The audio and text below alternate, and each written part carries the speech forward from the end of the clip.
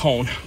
Tone, I just got done talking to the building inspector in there. You know, me and my brother-in-law Ramon, we've been flipping these houses, right? He buys them, we do a little work on them, you know, put some drywall up, a little paint, and then he sells them, and then you know he cuts me in or whatever. So I'm in there today working, and I hear on the door, right? Somebody's knocking. It's a freaking building inspector. So I let him in. He's poking around. We got the repair replace permit, so it should be fine. But he starts looking at the drywall it's the stuff that I was telling you about that I got out at, on Mannheim Road at Melrose Park from some guy in a box truck for four bucks a sheet. I couldn't pass it up. What could I do?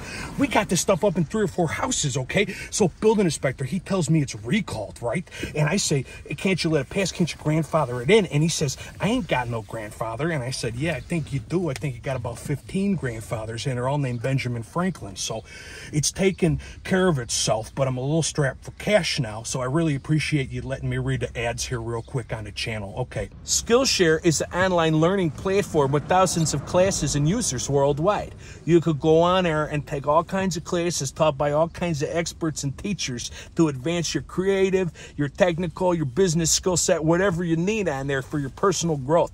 I went on there, I took Gardening 101 with Geraldine Lavin, and I learned how to propagate plants from seeds and cuttings and whatnot. I found a lot of personal enrichment. It was very peaceful. The first thousand people to use our code get a free month of Skillshare.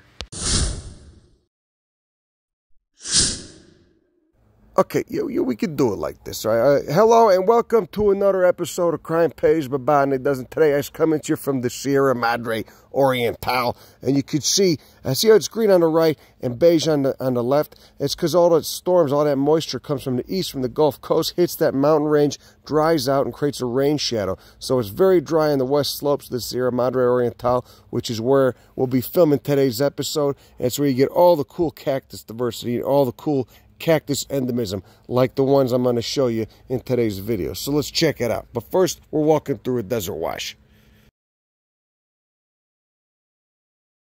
Oh, look at those bedding planes. You see that? Ah, oh, how long ago was that the floor of the ocean? How many earthquakes did it take to get it dipped downward towards me like that?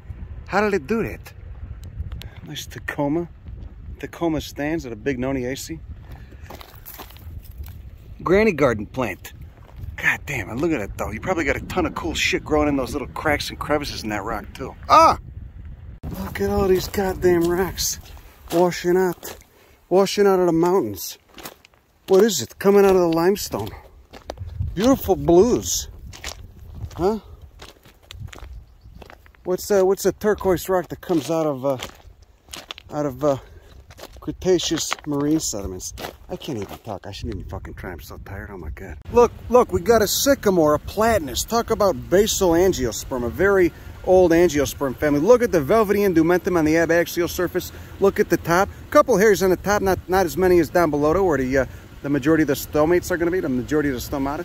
And uh, look how big the leaves are. Not very big at all. They're small compared to some of the sycamores that get, you know, palm-sized leaves uh, at higher latitudes pretty incredible. Growing here in the creek where there's uh, persistent water underground even during the dry season. Okay, now as I uh, dangle dangerously on a precipice of this eroding rock wall composed of conglomerate, you know, a few hundred thousand, if not millions of years worth of conglomerate washing out of those mountains over there. Beautiful sheer limestone cliff. We're exposed to yet another very rare and heavily sought after cacti. This is uh, Aztekium ritteri. You could see beautiful geometric shape right there. These things grow slow as hell. And I also want you to notice you got this Selaginella uh, Lepidophylla all over the rock wall. But uh, look at all the lichens and what this shit as well. All right, holding that soil together. Because again, these are all just, this is just a bunch of rocks that have piled up, you know, uh, after a, every subsequent rainfall. It's basically just piled alluvium and so they're being held together. That whole rock wall is being held together by the lichens. See, there's another uh, Aztekium up there. So these are, uh, oh, there's an old guy up there, pretty old. So these are, these are pretty sought after again, heavily poached. Uh, but, you know, due to the precarious nature of the habitat, I mean, look at this. I almost broke my ass. And I don't know how the fuck I'm going to get down. It's sketchy. You know, it's like that. I actually made it up to there, but then I got, get a little too sketched out and uh, decided to turn back around. You get all kinds of thorny shrubs like this hechtia to grab onto, should you fall. It'll rip your hands right open. There's a beautiful Aztekium hanging out right there. So uh, these, these lichens are extremely important in uh, germinating the seeds. When it gets wet, they hold that soil together and they act as a nice substrate, a nice little padding for those Aztekium seeds to germinate. The question I want to know is how long ago was it that uh, this was the level of the creek? That this right here was the creek bed? Probably quite a while. You know, maybe a million years if that. Look, there's a little seedling coming up. Well, it's probably 20 years old, but that's a little seedling right there. You can see they're not germinating over there where there's it's too rocky, there's not enough soil, there's not enough lichen. You do need this soil mixed in with the rack. And of course, uh, yeah, they just grow directly out. they just grow directly out the rock wall nice. I don't know any place where this species actually grows on flat ground. There's another one. See that? God, you know, we are, we're at like 2,500 feet now, and it's pretty low for this latitude. So it is hot as balls. It's very hot. How deep, how deep into the uh, rock wall does that stem go? Oh, look at, look at my bubbly epidermal tissue. Look at all the ribs on the ribs. What do you got, like eight different ribs there? And then you've got kind of like uh, wrinkly, warty patterns on the ribs themselves. And pink flowers when it does go off. Look at it. Tiny little shits. Tiny little shits. How old is it?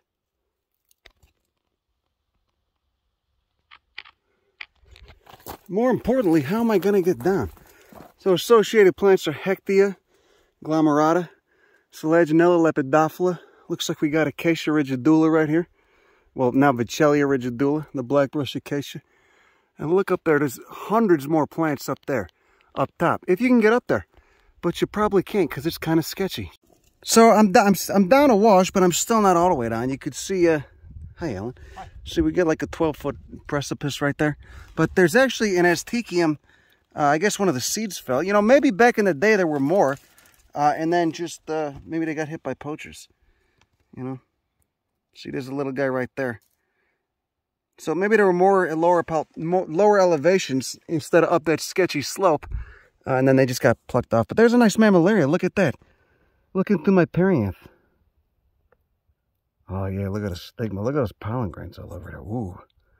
Erratic. Oh, here's a rather large iresine, member of the spinach family, Amaranthaceae. There's those tiny flowers.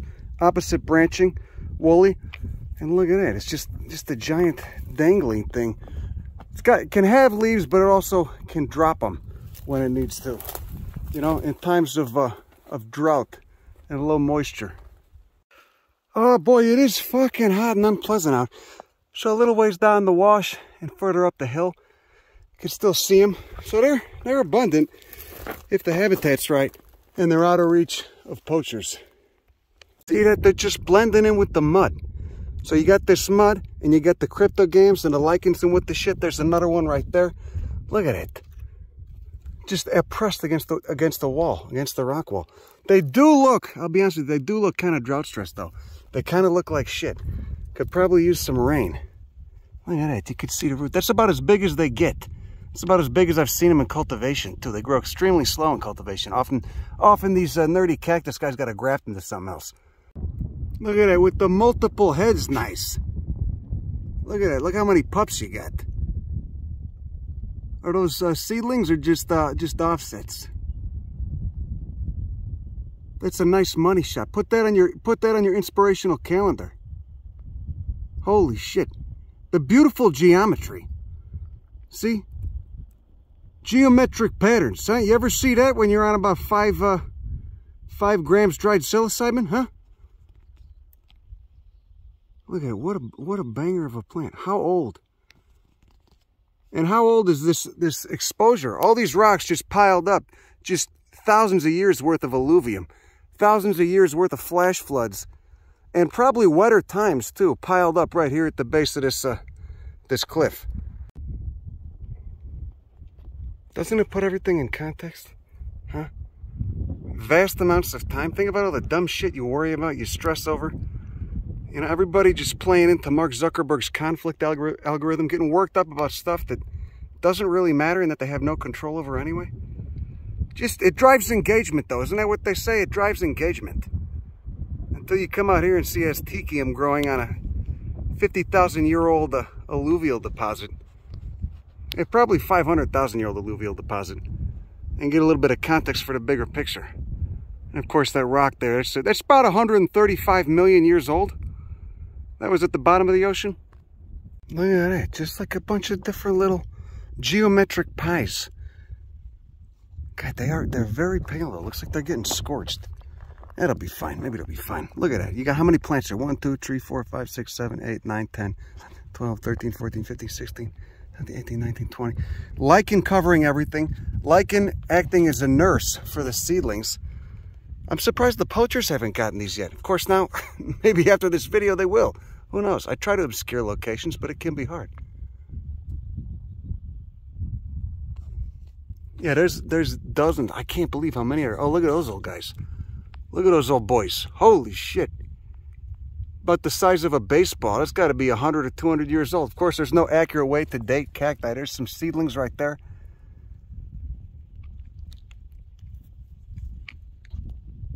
Look at it. The geometry is so beautiful. You know, I'm sure they're beautiful when they flower too. Pink flowers, probably massive nectar source for the local insects. Look at a little hechtia blooming. He's going to be a prick one day. Real mean. Selaginella. Agave lechuguilla. What, what types of, what species of lichen? I bet you got quite a few different ones. God, the sun went behind the clouds. I thought I was going to drop. I felt like I was about to drop, you know. Felt like, uh, get a little woozy.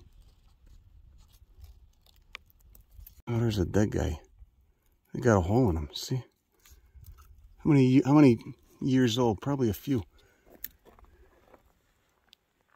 You got them up there? Sometimes they blend in so perfectly too. Oh, who's that? Is that another Thelocactus or what the shit? Yeah, I'm just gonna I'm just gonna keep showing you footage of the same the same species. It's so incredible. I mean, really, how many cacti? Well, I guess there's quite a few, but how many cacti have you seen that grow on vertical sheer rock walls, consisting of 130 million year old limestone? They're seedlings nursed by all the lichens and crypto, cryptogams on the rock wall, but uh, never grow on uh, never grow horizontally. Ugh. Oh shit never grow horizontally on any flat ground. Look at that, nothing but sheer evolutionary erotica. Evolutionary cactus erotica.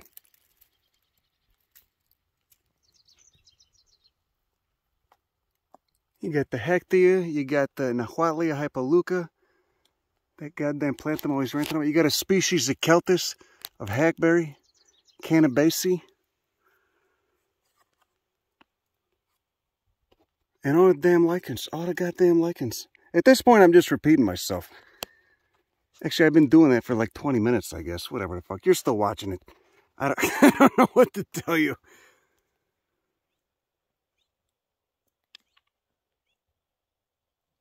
Oh, see, at the base of this Gochnatia, you got an exceptionally healthy looking one. Look at it. Look how long he is. Ooh, how old is that? How old is that guy? Got a little seedling beneath him. You got another one up there. There's a mammillaria again. So you got mammillaria, Thelocactus, hamatocactus, and then of course Aztekium.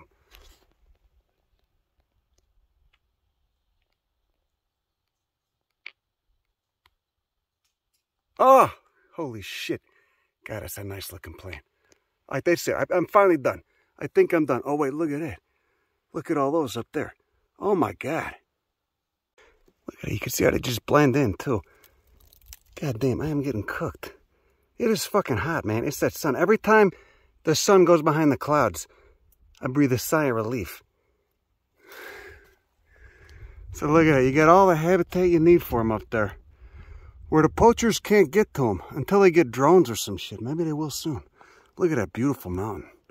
Look at a beautiful slab of Cretaceous limestone. Anyways, that's all I got for you this afternoon. I'm fucking toasted. Uh, let's hope we don't get carjacked on the way back south on this uh, sketchy one lane road. That's all I got for you today. Have a good rest of your afternoon. Go fuck yourself. Bye.